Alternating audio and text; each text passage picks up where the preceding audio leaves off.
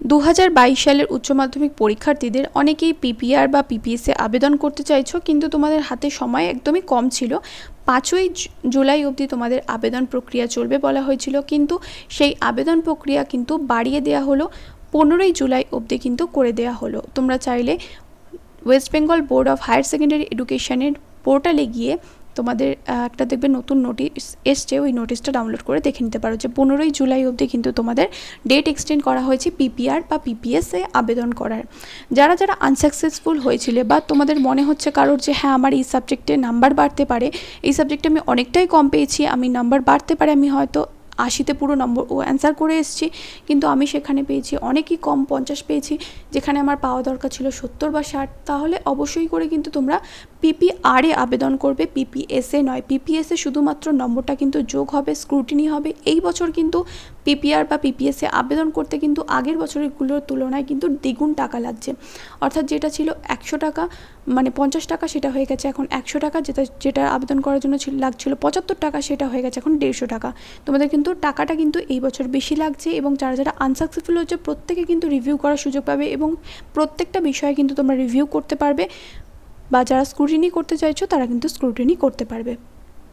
এবছর কিন্তু কোনো রকম বাধ্যবাধকতা নেই যে দুটো বা তিনটে সাবজেক্টে তোমরা পিপিআর বা পিপিএস করতে পারবে। এখানে এবারে কিন্তু সবকটা বিষয়ে কিন্তু তোমরা পিপিআর বা এবং পিপিএসে আবেদন করতে পারবে।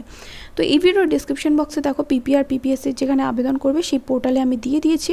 এখানে লেখা রয়েছে, দেখো এখন অবধি যদিও এটা আপডেট হয়নি the online submission of PPR or PPS application for HS examination twenty twenty two will be continue up to midnight of fifth July এখানে ফিফথ জুলাই লেখা রয়েছে, এখানে কিন্তু এটা আপডেট হয়নি। ফিফটিন্থ অফ জুলাই অবধি কিন্তু ডেট এক্সটেন্ড করা হয়েছে।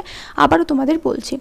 তো এখানে তোমরা যখন দেখবে যে ওয়েবসাইটটাতে আসলে apply for PPR or PPS এই অপশানটাতে যদি তোমরা ক্লিক করো, এখানে চাইবে তোমার ক্যান্ডিডেটের মোবাইল নাম্বার তো এখানে অ্যাড করতে হবে এবং সাথে পেমেন্ট মোড এটাও কিন্তু অ্যাড করতে হবে। আর এখানে অনেক কিছুই রয়েছে যেগুলো এখানে দেখো পরপর স্টেপ বাই স্টেপ কিন্তু এখানে উল্লেখ করে দেওয়া হয়েছে। তো সেটাও অবশ্যই করে তোমরা দেখো, ভালো করে আমি পরপর স্টেপগুলো বুঝিয়ে দিচ্ছি যে কীভাবে তোমরা অনলাইনে আবেদন করবে। PPR or PPS application process click on apply for PPS or PPR তাহলে অ্যাপ্লাই ফর পিপিএস অর পিপিআরে তুমি অপশনে ক্লিক করবে। তারপরে কি বলেছে দেখো এখানে? মোবাইল নাম্বার ম্যান্ডেটারি এখানে দিতে হবে। Mobile number enter, mobile number mobile number enter করবে। তারপরে কি করতে হবে? Click on add candidate button. অর্থাৎ এখানে যে মোবাইল নাম্বার রয়েছে, সেই মোবাইল নাম্বারে এখানে অ্যাড ক্যান্ডিডেটের বাটনে ক্লিক করে তোমরা তোমাদের রোল নাম্বার এবং মার্কশিটের যে নাম্বারটা পেয়েছ তুমি, সেটা দেবে, রোল নাম্বার দেবে এবং সাথে মার্কশিটের যে নাম্বার মার্কশিট নাম্বার লেখা রয়েছে, কত উপরে লেখা থাকে মার্কশিটের মধ্যে, সেটা দেবে এখানে। তারপরে এখানে অ্যাডের যে অপশানটা রয়েছে, সেটাতে ক্লিক করবে। হলো? তারপরে ক্লিক করার পর আমি এখানে ক্যান্সেল করে দিলাম, কারণ আমার এটা লাগবে না, তাই আমি এখন ক্যান্সেল করে দিলাম। এই সব কিছু করার পর এখানে এই যে মার্কশিটের উপরে যে নাম্বারটা লেখা থাকে, এখানে দেখো বুঝিয়েও দিয়েছে যে এই মার্কশিটের উপরে যে নাম্বারটা দেওয়া রয়েছে, সেটা এখানে অ্যাড করতে হবে। তারপর নিচের দিকে এখানে চলে আসবে। রোল নাম্বার দিলে মার্কশিটের নাম্বার দিলে। তারপরে কোন কোন ল্যাঙ্গুয়েজে তুমি আবেদন করতে চাও পিপিআর বা পিপিএস করতে চাও, ধরো কেউ করবে নেপালি ভাষাতে, এখানে লেখা রয়েছে, যেমন ধরো তো কেউ করবে ধরো বেঙ্গলিতে পিপিআর করতে চায় পেপার রিভিউ করতে চায়, তাহলে সেখানে তাকে একশো টাকা দিতে হবে পেপার রিভিউয়ের ক্ষেত্রে। আর বেঙ্গলিতে ইংলিশে ধরো কেউ পেপার রিভিউ করতে চায়, তাহলে এখান থেকে হচ্ছে ষাট টাকা। তো এখানে কিন্তু টাকার অ্যামাউন্টটা কিন্তু ঠিকভাবে লেখা নেই, যেটা তোমাদের পিপিআর এবং পিপিএসের যে লিস্টটা বেরিয়েছিল, সেখানে কিন্তু উল্লেখ করে দেওয়া হচ্ছে কোন সাবজেক্টের জন্য কত টাকা লাগবে। মানে এখানে পিপিআর প্রত্যেকটা সাবজেক্টের জন্য কিন্তু আলাদা আলাদা টাকা নয়। যদি তুমি পিপিআর করো রিভিউ করো, তাহলে কিন্তু তোমাকে দিতে হবে দেড়শো টাকা এবং পিপিএস যদি করো, সে দিতে হবে তোমাকে একশো টাকা করে। তারপরে এখানে যে যে সাবজেক্টে তুমি অ্যাড করতে চাও মানে পিপিআর বা পিপিএস করতে চাও, সেগুলো সব সিলেক্ট করে নিয়ে ওকে বাটনে ক্লিক করে ওকে বাটনে ক্লিক করবে। তারপরে ওকে বাটনে ক্লিক করে পর এই যে are you want to submit তারপর একটা ওকে বাটনটা ক্লিক করে দেবে। তাহলে কিন্তু তোমাদের এখানে এটা সেভ হয়ে যাবে। তারপরে এখানে লেখা রয়েছে, দেখো up to a maximum of 10 candidates in one go.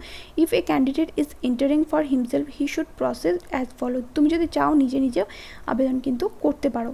এখানে বলা হয়েছে now select your payment method online as shown তো এখানে এই যে পেমেন্ট মেথডটা যেটা দেখালাম তোমাদের, এটা চুজ করতে হবে। কিসের থ্রু তুমি পেমেন্ট করতে চাও ক্যাশ নাকি অনলাইন তুমি যদি নিজে নিজে করো তাহলে তোমাকে কী করতে হবে? অনলাইনে আবেদন করতে হবে। এবং তারপরে এখানে অনলাইনে আবেদন করার পর সে, এই যেখানে আবেদন করে দেওয়ার পর পে করে দিতে হবে তোমাকে। পে অনলাইন এই যেখানে চালানের পাশে এখানে দেখো একটা রয়েছে পে অনলাইন বলে। তো সেটার উপর ক্লিক করলে এখানে তোমাদের পেমেন্টটা হয়ে যাবে। তুমি তোমাদের অনলাইন পেমেন্ট করে দেবে অনলাইন পেমেন্টের থ্রু মানে যেভাবে করতে চাও তুমি অনলাইনে পেমেন্ট ডেবিট কার্ড বা ক্রেডিট কার্ড দিয়ে তারপরে এখানে পেমেন্ট হয়ে গেলে দেখবে এখানে একটা আসে চালান নাম্বার দিয়ে দেওয়া হবে। ডাউনলোড চালান ডিটেলস তো সেটা ডাউনলোড করে নিতে পারো।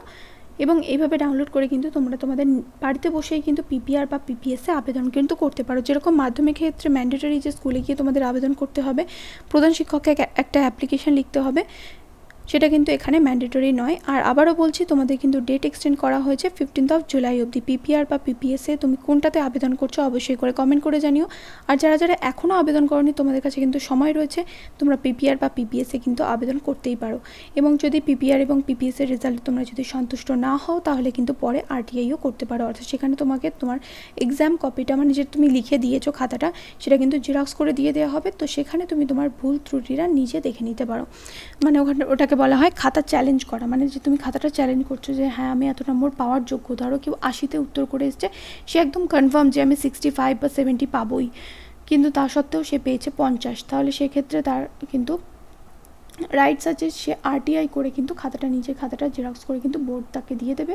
এবং তারপরে তুমি সেখান থেকে তোমার ভুল ত্রুটিগুলো দেখে নিতে পারো যে হ্যাঁ আমার এই জায়গাগুলো ভুল হয়েছে বা কোনো জায়গায় ধরো তোমার নম্বর পড়েনি। তো সেটা তুমি চেক করে নিতে পারো। আর যারা যারা পরীক্ষা দিয়ে সবেমাত্র কলেজে উঠবে পিআরপি বা পিপিএসে আবেদন করছ। অনেকেই তোমরা পাশ করেছ, যারা পাশ করেছ, তাদের ক্ষেত্রে বলি, তোমাদের কিন্তু এই বছর থেকে কেন্দ্রীয়ভাবে অনলাইনে কিন্তু আবেদন করা কোনো প্রয়োজন নেই। এবছর থেকে কিন্তু কেন্দ্রীয়ভাবে আবেদন প্রক্রিয়া অনলাইনে হবে না। তো ইন্ডিভিজুয়ালি কলেজে গিয়ে কিন্তু আবেদন করতে হবে। এবং সেটা কীভাবে হবে প্রত্যেকটা কলেজের কিন্তু আলাদা আলাদা ওয়েবসাইট রয়েছে। সেখানে গিয়ে তোমরা আবেদন করতে পারো বা কলেজে গিয়ে ডাইরেক্ট অফলাইন ফর্ম তুলে ফর্ম ফিল আপ করে কিন্তু জমা দিতে পারো।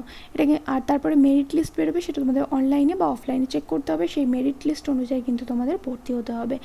কী নিয়ে পড়া ভালো কলেজে অনার্স নাকি পাস সেটার উপরে কিন্তু একটা ভিডিও বানিয়েছি। যারা যারা ইংলিশ অনার্স করতে চাইছো, তাদের জন্য একটা বিশেষ ভিডিও তো রয়েছে। এবং ইংলিশ অনার্সে কীভাবে নিজের নোটস বানাবে, সেই সমস্ত কিন্তু ডিটেলস আজকের একটা বিশেষ ভিডিওর মাধ্যমে তোমাদের সাথে শেয়ার করব। তাই যারা যারা এই ভিডিওটা দেখলে, যারা পিপিআর বা পিপিএসে আবেদন করবে, ভাবছ তোমাদের কাছে কিন্তু এখন অবধি সময় রয়েছে ফিফটিন্থ অফ জুলাই অবধি। তো পনেরো দিন প্রায় বলতে গেলে তোমাদের কাছে হাতে রয়েছে। সেই পনেরো দিনের মধ্যে পিপিআর বা পিপিএসে তোমরা কিন্তু আবেদন করে ফেলতেই পারো। আর কারা কারা পিপিআর বা পিপিএসে আবেদন করছ বা তোমরা কনফার্ম যে হ্যাঁ আমার নাম্বারটা বাড়বেই। যারা আনসাকসেসফুল হয়েছে, তারা তো অবশ্যই করে পিপিআর করবেই। যাদের আনসাকসেসফুল দেখাচ্ছে, কেন দেখাচ্ছে সেটার জন্য কিন্তু তোমাকে অবশ্যই পিপিআর বা পিপিএসে আবেদন করতে হবে। তাদের আমি রেকমেন্ড করব, যাদের আনসাকসেসফুল দেখাচ্ছে, তারা কিন্তু অবশ্যই করে পিপিআর করো। পিপিএস করে কিন্তু কোনো লাভ হবে না সেক্ষেত্রে। এবং পিপিআর বা পিপিএস করলে যে নাম্বার কমে, এটাও কিন্তু ভুল কথা।